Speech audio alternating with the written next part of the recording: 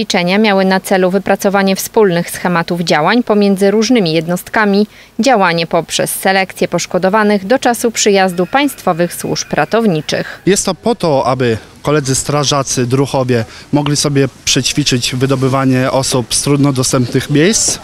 Yy, nasi ratownicy, w szczególności nasi najmłodsi adepci, yy, mogą dzięki temu od kolegów strażaków nauczyć się, jak profesjonalnie tą deską się posługiwać. Starsi ratownicy yy, nasi e, zajmowali się triażem, czyli segregacją poszkodowanych, e, jeśli chodzi o urazy, tak? E, Przydzielali im kolory czerwony, żółty, zielony e, i następnie została im udzielona pomoc. Scenariusz zakładał udział pociągu i samochodu osobowego. Poszkodowanymi byli zarówno pasażerowie samochodu osobowego, jak i pasażerowie pociągu. W ćwiczeniach wzięło udział 15 ratowników, 7 jednostek OSP z naszego powiatu oraz kilkudziesięciu poszkodowanych. Centrum Powiadamiania Ratunkowego zgłosił do jednostki OSP i do ratownictwa Paramedik, że jest wypadek masowy z udziałem pociągu i auta osobowego.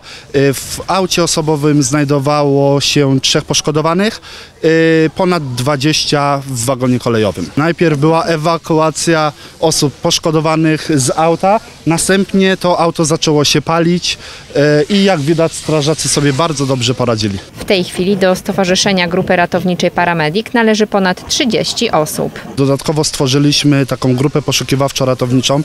Współdziałamy z policją na wypadek zaginięcia jakiejś osoby, a paramedyk tak naprawdę jest wszędzie. Tam, gdzie jest potrzebna pomoc, tam paramedyk jest wszędzie, w szczególności w czasach COVID-u. Bardzo dużo pracy włożyli nasi ratownicy, e, ratownicy, którzy u nas są wolontariuszami i to jest piękne, że e, lubią pomagać. My jesteśmy osobami dla których ratowanie ludzkiego zdrowia, życia e, to jest po prostu pasja. Wszelkie informacje dotyczące wsparcia i działalności grupy znaleźć można na Facebooku SGR Paramedik Kołobrzeg.